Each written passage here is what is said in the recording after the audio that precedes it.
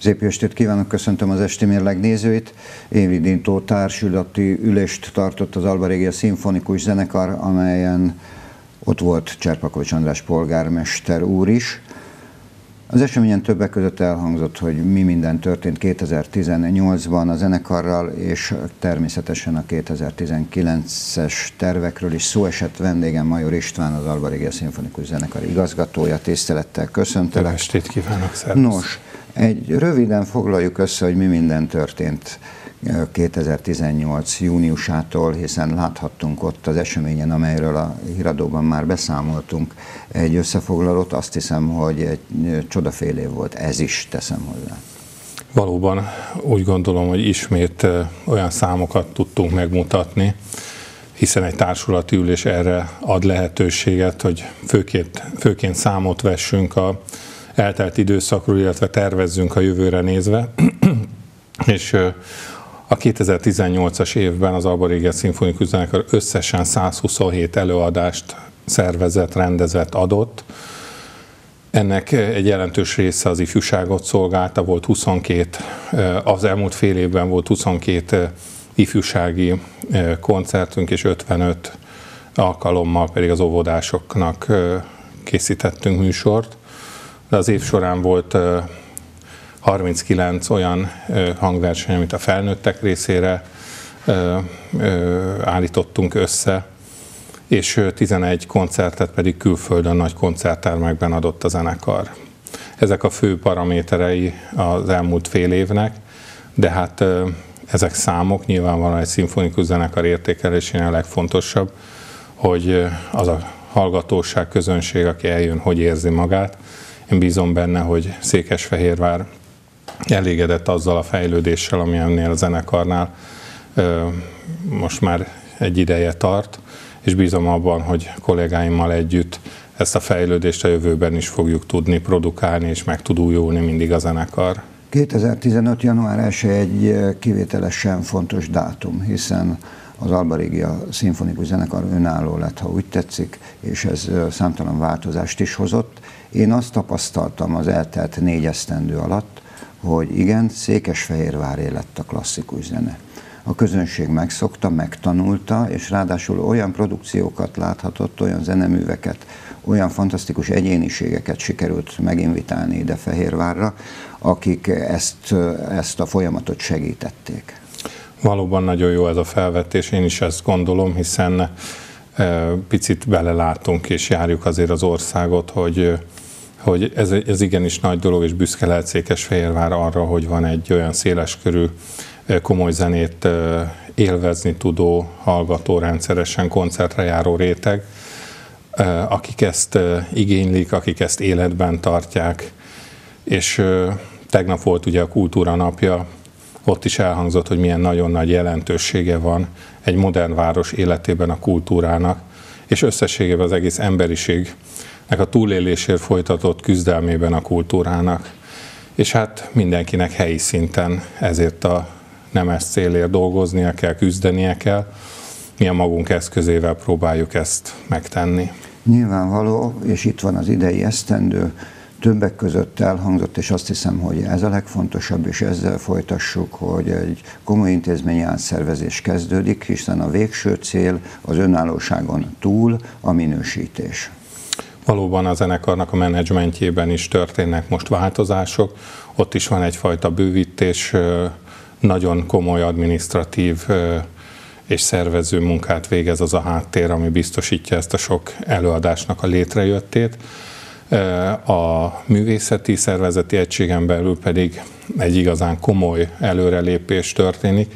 Április 1-től fogva már egész állású, tehát teljes foglalkoztatású zenészeket fogunk alkalmazni, ami azt jelenti, hogy legalábbis gondolkodásmódban, már a pozíciókban, egész állású, teljes foglalkoztatásban alkalmazott művészeket fogunk látni. Természetesen ugyanúgy, mint minden munkahelyen itt is megmarad a félállásnak az intézménye, tehát lesznek művészek, akik osztoznak, de ezzel fogjuk tudni erősíteni azt, hogy a szimfonikus zenekarnak minél erősebb, állandó, stabil magja legyen, akikkel még intenzívebben fogunk tudni fejlődni, ugye a város zeneszerető polgárai igénylik azt, hogy, hogy viszonylag gyakran nagy zenekari produkciót hallhassanak, láthassanak, viszont mi azért azt tudni kell, hogy kamaraszimfonikus kategóriába tartozó zenekar vagyunk, tehát ahhoz, hogy ezeket a nagyobb produkciókat meg tudjuk valósítani, ehhez vendégművészeket kell hívnunk. Most azáltal, hogy a saját művészeink már teljes foglalkoztatásba kerülnek, így értelemszerűen kevesebb vendégművészt kell majd hívnunk, és azt is gondolom, hogy több állandó arc lesz, a közönség még személyesebb kapcsolatot építhet ezáltal a zenészeinkkel, többször fogja őket látni, és a, szakmai munkára nézve pedig egy nagyon jótékony hatása van ennek, hiszen ugyanazok az emberek fogják azokat az instrukciókat hallani próbára, próbára, akik, akik mindig itt vannak, és nincs az a fajta változás projektről projektre a, a zenekari állományba, ami mondjuk most az utóbbi időben azért még eléggé szemmel látható volt. Tehát ez egy nagy lépés a professzionalizmus felé, és ezt természetesen úgy mondom, hogy profi, mert a, a tartalmi oldalról eddig is profi volt a zenekar, most viszont, és nem csak, és külsőségében is természetesen. Ugyanakkor most a minősítés okán nyilvánvaló, hogy, hogy számtalan új, ugye ne feledkezzünk meg arról, hogy 2015-ben milyen kevesen voltak a zenekarban, főállásban, és ez az a szám folyamatosan nő. Valóban, hát az építkezésnek ez egy fontos eleme, tehát a zenekar építésnek az egyik eleme az, hogy ugye egyre több művész kerül fix közalkalmazotti státuszba, és éli itt velünk együtt az életét. A másik része pedig nyilvánvalóan a tartalmi szakmai munka, amit hát itt a szervezeti átalakulás kapcsán ugye azt is el kell mondani, hogy Dubocki Gergely 2018. január 1-től van hivatalosan a zenekarnál alkalmazásban, mint vezető karmester, és idén január 1-től pedig már mint művészeti vezető fogja irányítani a, a zenekart. Tehát tavaly egy sikeres év után úgy döntött a zenekar szakmai testülete, illetve hát jó magam is úgy láttam, hogy ez indokolt, hogy a Gergő tovább lépjen, és a zenekarnak a művészeti egységét ő irányítsa vezetőként. Ez egy fontos lépcső mindenképpen. Emellett pedig én azt gondolom, hogy a, az eddigi én nagyon népszerű hangversenysorozatok megtartása mellett nyilvánvaló, hogy ha kitekintünk a világban, nagyon fontos, hogy, hogy nem csak Székesfehérváron, hanem az országban másutt is, illetve külföldön is bemutatkozhassék az egy a zenekar. Valóban azt gondolom, hogy azok, azok a koncertsorozatok, amelyeket Fehérváron megrendezünk, illetve azok a különleges alkalmak, még ugye ünnepi alkalmak, amelyeken a zenekar megjelenik, ez nagyjából lefedi azt az igényt, amelyet Székesfehérvár támaszt a zenekar irányában. Ezen túlmenőleg, főleg a minősítés kapcsán már a szimfonikus zenekar, mivel hogy ugye az állami költségvetés is a zenekar fenntartásába és működésébe beszáll, innentől kezdve már nem csak helyi feladatokat kell, hogy ellásson, hanem a régió kulturális igényeit is szolgálnia kell. De ezen kívül azt gondolom, hogy minden város büszke arra, hogyha van olyan együttese, és legyen az akár sport, akár kultúra, amely a világban keresett.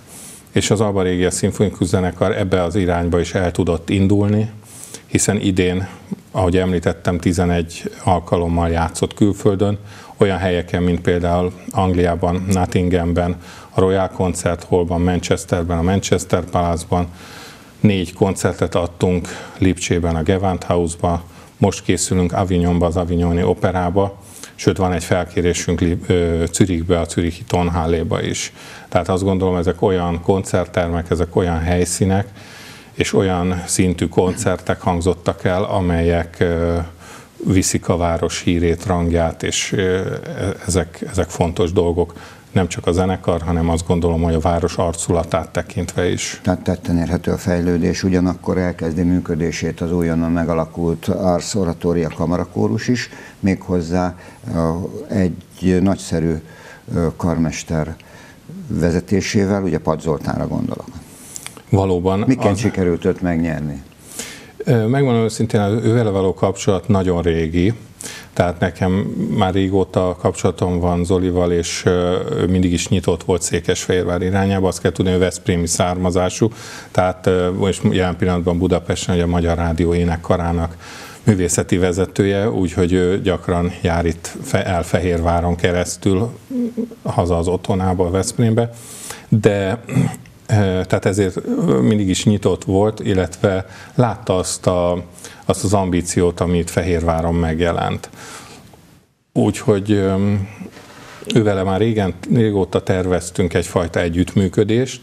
Most jutottunk el oda, a zenekarnak a szakmai fejlődése igényli azt, hogy legyen egy olyan ütőképes kórus partnere is, aki aki nagyon gyorsan adott esetben nehéz műveket is be tud fogadni és elő tud adni. Abszolút egyetértek, és ráadásul azért ne feledkezzünk meg, hogy van egy székesfehérvári társa is, Radics Éva személyében, ugye az Ars Muzika Kamarakórus rövidesen Sankhájba utazik a a, a kínai magyar nagykövetség meghívására, tehát ez is egy bizonyíték, de eddig is tudtuk, hogy egy remek kórusvezető és remek kórus az Ász Muzika, de most Radics Éva is ebben a munkában részt vesz. Ilyen muzikolóra együttesnek a, a vezetője, igen, igen a, a Radics Éva.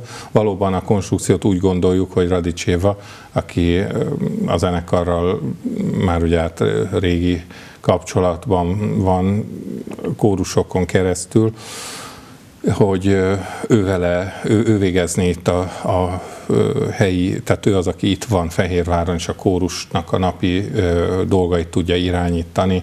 Természetesen a, itt a szakmai irányításra gondolok, és Pad Zoltán pedig, mint vezető karnagya, vezető karnagyként dolgozna a kórussal. Köszönöm szépen. Még essék szó a végezetül arról is, hogy mi vár ránk, mire készüljünk, hiszen rövidesen azt hiszem, hogy két jelentős esemény is lesz a zenekar életében. Február 4-én folytatjuk a Farkas Ferenc bérletet. Itt Rost Andrával és lányával, Harazdi Eszterrel találkozhat a közönség. A koncertet Ács János fogja dirigálni majd hát februárban, ahogy említettem, lesz egy avignoni fellépés a zenekarnak, utána folytatjuk a partitúra sorozatunkat, és márciusban pedig elindítjuk a Somorjai Ferenc kamarazenekari és kórus bérletünket, ugyanis most ismét egy picit fejlesztettünk a bérleten, hiszen már nem csak zenekari mű, műsorokat tettünk bele, hanem egy kórus koncert is, így a négy koncertből öt koncertre bővült ez a sorozat. A végén lesz egy, egy adventi kórus koncert, amit az új Árszoratória Kamara kórus fog adni majd. Azt nincs kétségem felül, hogy minden székesfehérvári zenerajongó érdeklődéssel várja ezt a koncertsorozatot. Köszönöm, hogy megtiszteltél. Köszönöm a lehetőséget. Kedves nézőink, köszönöm megtisztelő figyelmüket, további szép estét kívánok, viszontlátásra!